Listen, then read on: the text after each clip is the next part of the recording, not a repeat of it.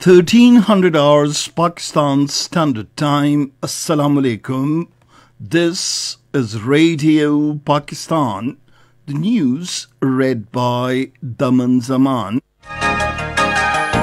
The headlines The President has emphasized on maximum utilization of technology for sustainable development in the country. The Prime Minister inaugurates the Green Line Rapid Bus Transit project in Karachi today. The Special Assistant to the Prime Minister on Poverty Alleviation says several steps are being taken under the Ehsaas program for the welfare of women.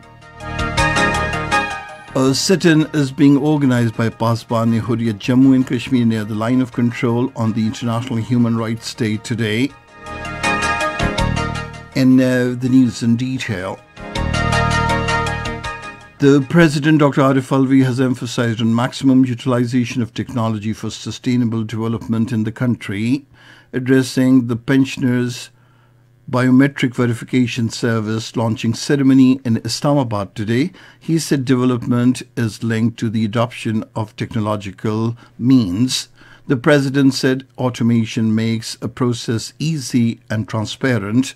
He said the government's initiatives of electronic voting machines and i-voting are aimed at achieving the same objectives.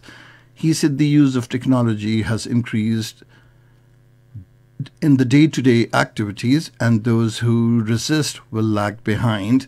The president said 60 billion rupees are dispensed among 1.4 million people in pension and my system and any system for verification of the pensioners will be a welcome development.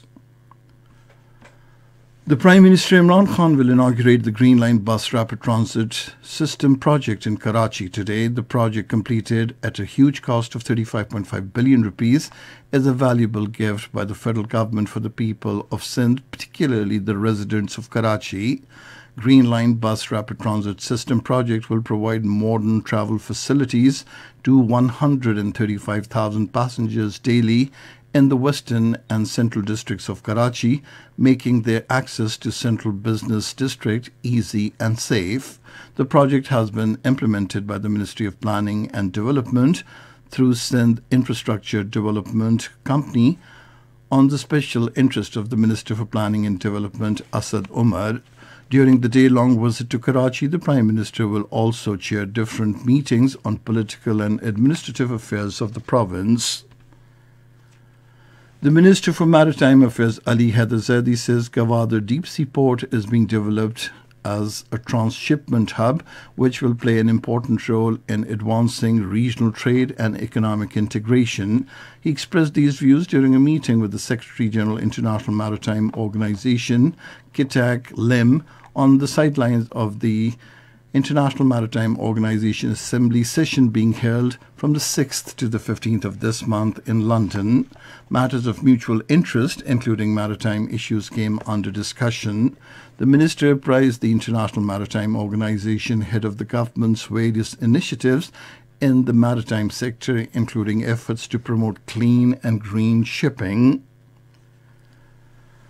The Special Assistant to the Prime Minister on Poverty Alleviation, Dr. Sania Nishtar, says several steps are being taken under the Ehsaas program for the welfare of women. Addressing a function in Islamabad today, she said 50% beneficiaries of all the initiatives under the Ehsaas program are women, and this number is increasing day by day. The Special Assistant said women are benefiting from Ehsaas Kafalat, Ehsaas Amdan, and Ehsaas undergraduate scholarship programs. She said 100% beneficiaries of Ehsaas Kafalat program are women and 60% of the assets in Ehsaas Amdan program are being provided to women. Dr. Sania Nishtar said women form 50% of the population and they cannot be ignored. The International Human Rights Day is being observed today to promote equality, peace, justice, freedom, and the protection of human dignity. This year's theme of the day is reducing inequalities and advancing human rights.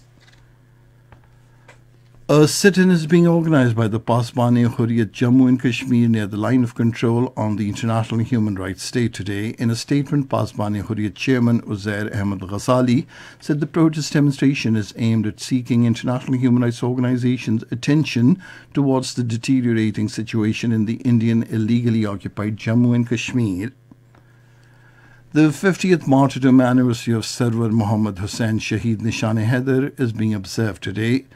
Muhammad Sarwar Hussain Shahid Nishane Haider was born on 18th of January 1949 at Jatli village in Gujar Khan. He was the first soldier to be awarded Nishane Haider. And that is the end of this news bulletin. For more news and analyses, log on to our website radio.gov.pk and you can also watch the live video streaming of our bulletins on the link facebook.com forward slash Radio Pakistan News.